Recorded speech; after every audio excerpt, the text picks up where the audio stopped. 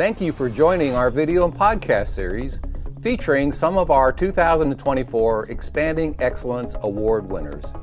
This series is brought to you by IUCX, a nonprofit educational entity that provides the largest forum for utility customer service, education, and networking in the world. Your host for this series is Julio Morales, Head of Strategy and Engagement for IUCX. Julio, please introduce today's guest. This year we're recognizing our best CIS implementation winners, and today I'm joined by Frank Flynn, Senior Manager, Customer Operations and Technology for Newfoundland Power. We have to start by saying congratulations, Frank, on a well-executed project, and I'm sure you've got a lot to tell us about your learnings of the process. Well, thanks, Julio. Um, I honestly say Newfoundland Power honored for this award. Um, I think it's icing on the cake for us. It highlights the tremendous accomplishment, the tremendous focus, the efforts that our team put forward to deliver this project on time and on budget. Frank, we know that major issues and opportunities drive large projects like the CIS project. Could you walk us through some of the drivers for your project? So our approach to excellence in customer service delivery, it starts with our customer information system. Initially, when we implemented that legacy system, we expected it to last about 20 years but through continual investments, expansions, we managed to extend that service life by about 10 years. But as part of those efforts, routine technology planning, we do risk assessments periodically. Um, our last risk assessment happened in 2018, which showed that there was no viable alternatives to continue running the system. Specifically, we measured vendor risks. Vendors were no longer stepping up and continuing to support and maintain the, uh, the application. Uh, support capacity risks, so internally, both our staff, staff from uh, external contractors, no longer available to continue to support, enhance, and maintain the application. And business enabling risks. We documented that those risks are high now because customers changing expectations, we could no longer support and meet those requirements. As part of that, we documented that these risks, although high, they're going to increase over time. So the time was right for us. So I guess our major driver was risk and showing that those risks are here now, they're going to increase, and uh, the time was right to uh, embark on a project like this. I think uh, I can handle this from a, from a very high level perspective because there were many capabilities that came with this new application. Um, generally, though, we want an application that could provide long term customer service continuity into the future. So we framed this up from three perspectives. Uh, we needed to provide service continuity. And generally, that's about the risk. So, taking those risks and ensuring that the system can meet our existing business processes uh, and showing that they could morph and, and develop and to be delivered over time. Um, from a long term perspective, that also meant that vendors would be available to provide updates and continual enhancements, uh, which would keep in line with industry trends or uh, regulatory requirements. The second item was maintaining service efficiency. Um, so we had improved service efficiency with the existing system over time. But we're finding now that manual processes were being integrated into the application. Um, for example, we could no longer deliver net metering. Uh, we had to build those customers outside our application. So we wanted to show that a modern platform would allow us to address future change as part of the base product or as part of what the vendors were providing to us. And we also want to demonstrate that we could enhance customer efficiency and effectiveness. Um, expectations change over time, and certainly with the existing system, we implemented new features like uh, budget billing or automated payment plans or um, uh, self-service items. But it come to a point where the application was fully extended. We could no longer extend it to meet those changing customer service expectations. So a new system would allow us to do that through uh, primary configurations or some minor program changes. Um, it's probably worth also saying because our system was so old, the extensions that we deployed um, were custom. They were one-off. They were specific to Newfoundland Power. So as part of this application, we wanted to retire a lot of those, decrease the technical footprint, the complexities that we had grown, so that uh, we could have these extensions to be offered by the product itself. Uh, that was another key driver for us. Frank, implementing a new CIS system often uh, unveils opportunities for improvements. Could you walk us through some of the learnings that you had? Well, For us, this is a once-in-a-generation project for Newfoundland Power. We had never taken on a project of this size, this complexity before. Um, Newfoundland Power, we're an integrated transmission, generation, distribution company in, uh, in Atlantic Canada. Um, we have approximately 90% of the customers on the island of Newfoundland. So it's imperative that we lay a framework that would ensure uh, quality and positive experiences both for our customers and for, uh, for staff at Newfoundland Power. Those integrations um, that we had completed, completed uh, throughout the project, um, they needed to be retaught because all the business processes that we had built up were specific and customized to Newfoundland Power. And we wanted an application to be able to provide those base or as close to base as, as possible. But there are some other areas that were complex for us. Um, where it was a once in a generation project for Newfoundland Power, organizational capacity was a challenge for us. We don't have uh, we don't have folks that are sitting on the sidelines waiting for the next big project to come up. So planning for how we would address that was uh, was substantial.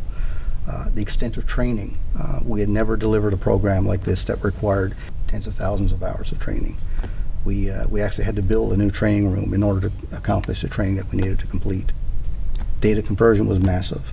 Um, hundreds of thousands, millions of transactions to be extracted, transformed, and loaded into the new system, and to meet complex business requirements had to be uh, had to be quality assessed, and the testing that we had to do with that, hundreds of thousands of test steps. We had never gone through a program like that before. Early challenges, uh, supply chain caused interesting issues when we were uh, implementing our architecture. Uh, new plan versions of software. So we started with one version. The vendor came out with a substantial new release months into our program. We had to pivot and go to that next release. Uh, that created challenges. And no downtime cutover plans. Um, a key goal for us was our customers would not be impacted. So coming up with a cutover plan that allowed us to be seamless for customers was, uh, was extremely important. And we had to do all of that within a backdrop of um, regulatory delay. So we were delayed about three, four months um, from when we wanted to start this due to uh, questions and things we had to work through with our regulator, which resulted in a compressed timeline for us right at uh, right at project start. Originally, would have liked to have had a, a 21 month. We filed for a 21 month project, but because of delay and our forecasted uh, due date, we had to work a plan to uh, implement within 18 months. So it sounds like a very complicated project. Could you walk us through some of those complexities? Um, as I mentioned, this is a once in a generation project for Newfoundland Power, and we don't have that reserve capacity sitting on the sidelines waiting for the next big project. So we had to do a lot of uh, prerequisite activities, a lot of planning to ensure that other major projects for Newfoundland Power, for example, um, our outage management system replacement, our GIS system uh, replacement, get those projects done early ahead of this uh, program to ensure that we would be in a good position from a company perspective to staff it, but also prioritize other options, um, our asset management replacement. Um, we moved that out to be implemented beyond the scope of this project after this project was completed. Um, leading into the project, we took on that difficult task of reaching out throughout the organization to find the staff in various departments, various locations that would be key for this program, uh, providing a little bit of extra training, some upskilling, backfilling their positions because they would be 100% dedicated to this program. Um, and certainly looking out to third parties and, and doing some um, some searching with local partners for staff augmentation for some of that backfilling and certainly for uh, for program support. So obviously a major undertaking for the company. Could you walk us through some of the organizational challenges with capacity? Um, additionally, we, we wanted to be able to assist the project management office, so we went outside. We engaged third-party uh, providers to do health checks and quality assurance throughout the program to ensure that we're progressing uh, well for the program for the project. So Frank, you mentioned a lot of uh, timeline constraints uh, and issues. Um, could you walk us through some of what drove that and what happened as a result of it? So our plan targeted a written in stone timeline for August 2023, and there are a number of reasons for that. I think the first one is we are publicly exchanged on the New York Stock Exchange, so um, there are a number of Sarbanes-Oxley requirements that we have to adhere to for financial system changes in the last quarter of a year. But also, the fall is a traditionally very busy time for Newfoundland Power.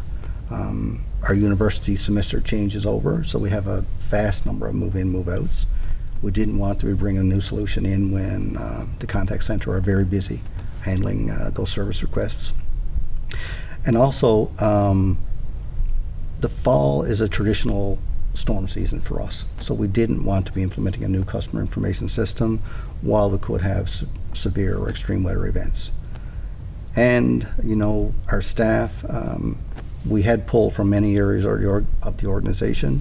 Having those staff uh, available for future projects was important, so we wanted to be able to deliver on time for, for that.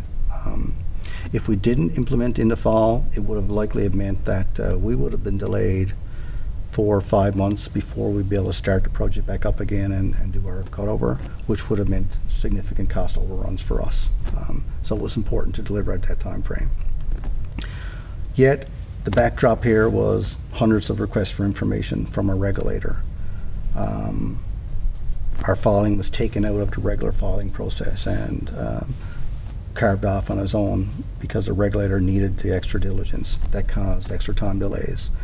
Uh, we had technical conferences where we had to sit in front of a panel and they would ask us questions on why is the project necessary to happen now, why can't it be delayed further. Um, we progressed through all that and eventually got uh, got our full approval, but our consumer advocate wasn't satisfied that uh, he felt the project could still be delayed. So we actually um, we had a court challenge, and we had to work through that, which indeed uh, also interjected uh, some extra time in our uh, in our approval process. And then early in our program, I mentioned we had some supply chain challenges.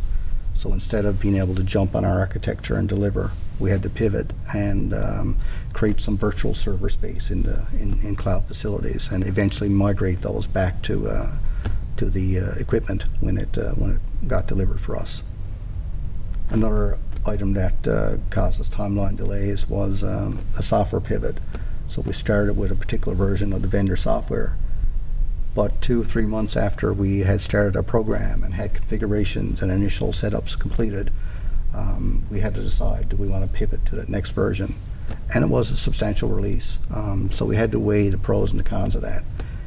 Eventually the pros, uh, we found the pros weighed out and we did pivot, um, but it caused some scheduling delays and some, some rework of our activities. I think in the end, um, as we um, submitted to the regulator a 21 one program, we had to pivot and compress that timeline back to 18 months and uh, revise our program and our uh, scheduling to ensure that we could still deliver that scope uh, within the time period that we had proposed.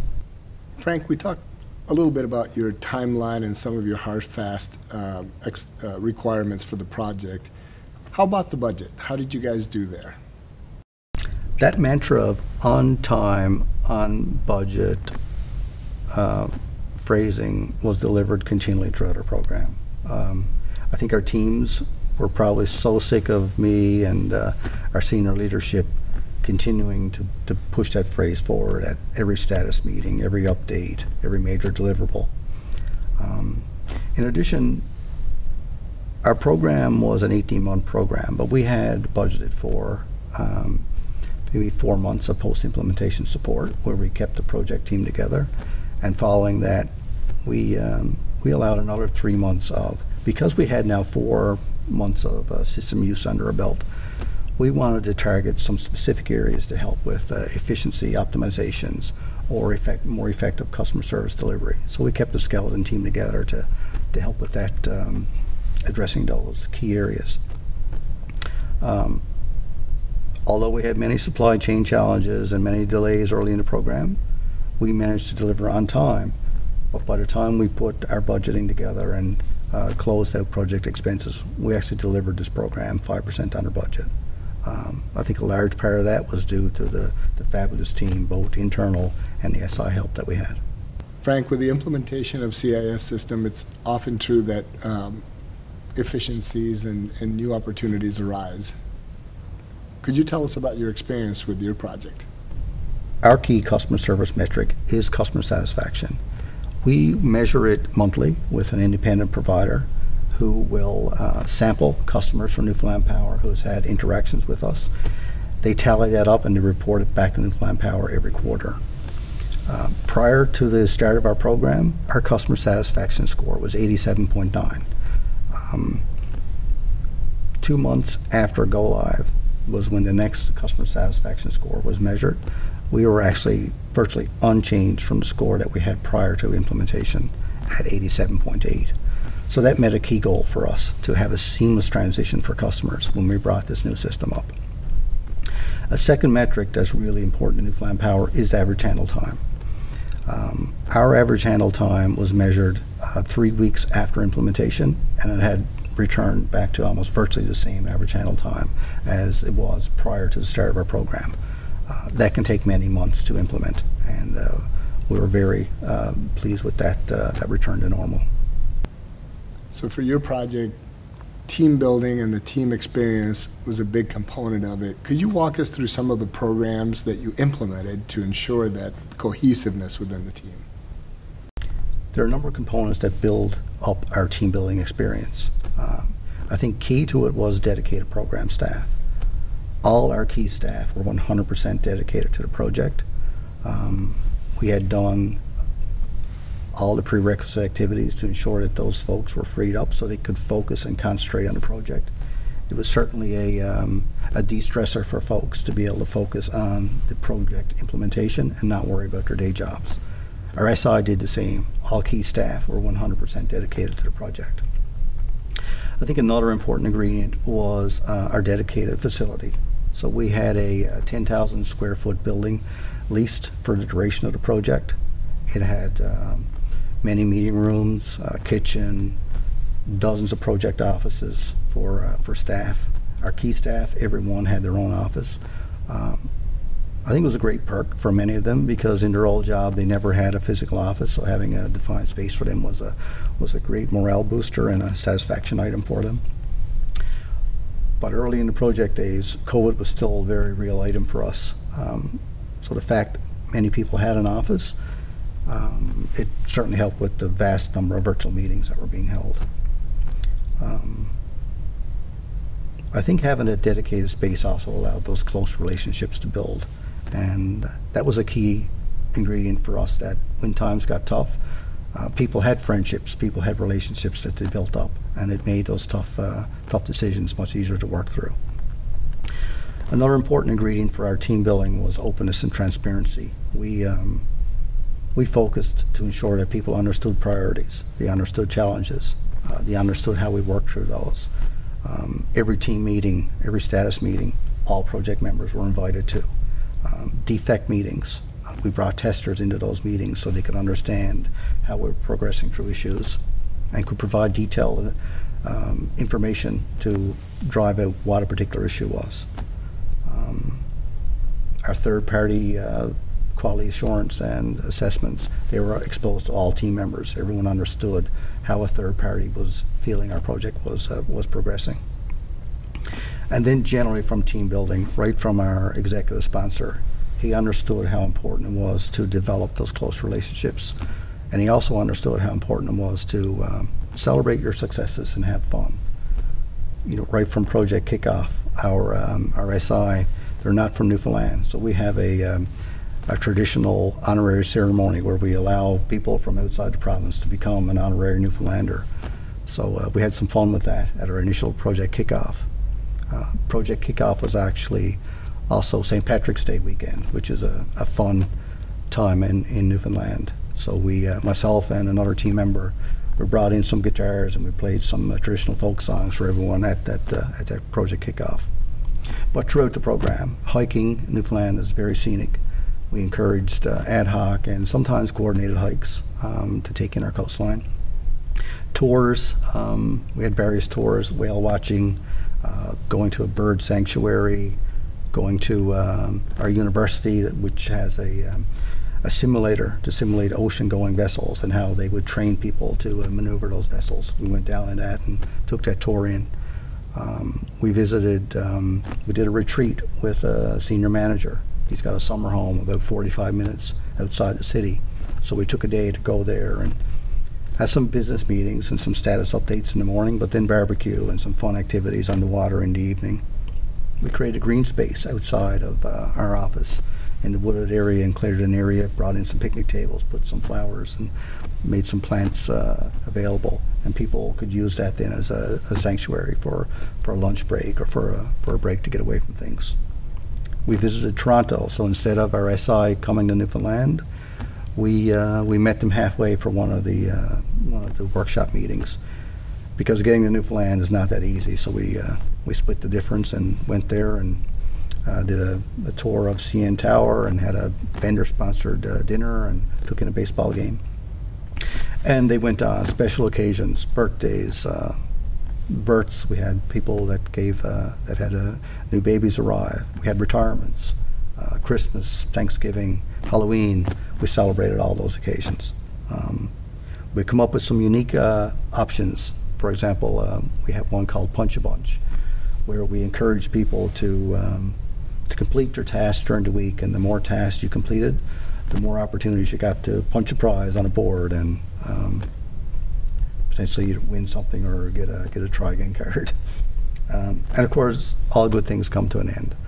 So um, after our last dress rehearsal, we had a graduation ceremony, uh, a formal event off-site where we recognized people's tremendous accomplishment and had some great prizes and a, and a great dinner to, uh, to rally the folks for the next significant activity, which was our, our Go Live weekend.